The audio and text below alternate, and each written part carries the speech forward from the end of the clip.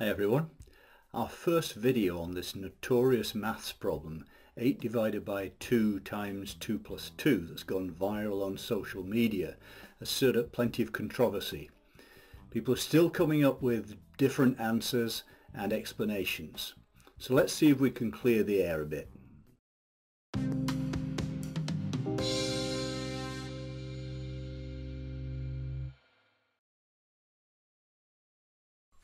Some people have said that uh, where there's any doubt or ambiguity in a problem, you should work from left to right. But where's the mathematical basis for that idea? The simple fact is there isn't any. It doesn't make any sense. Others have talked about certain methods like uh, PEMDAS or BODMAS.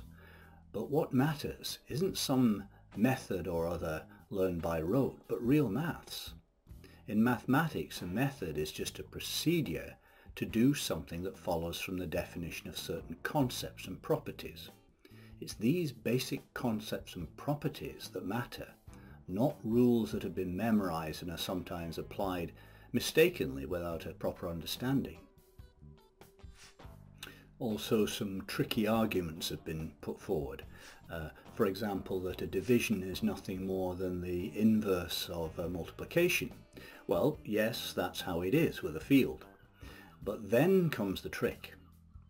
If that's the case, it's been argued, you can first express an operation as a product and then apply the associative property. Well, that doesn't work.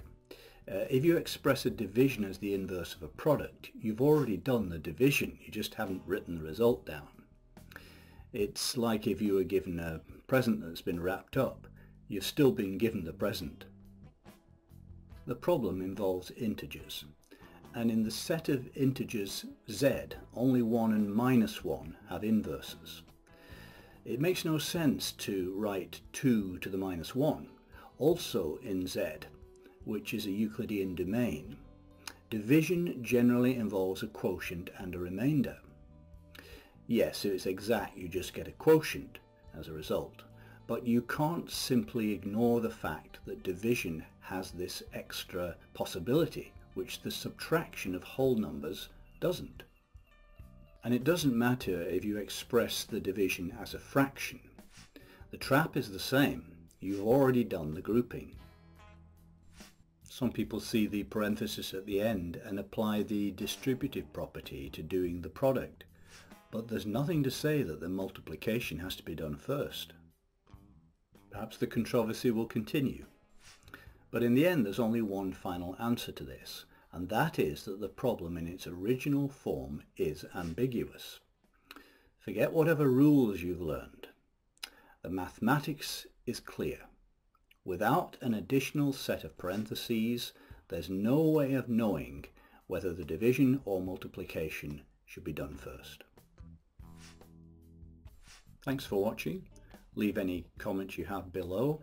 Please subscribe if you haven't already, and I look forward to seeing you next time.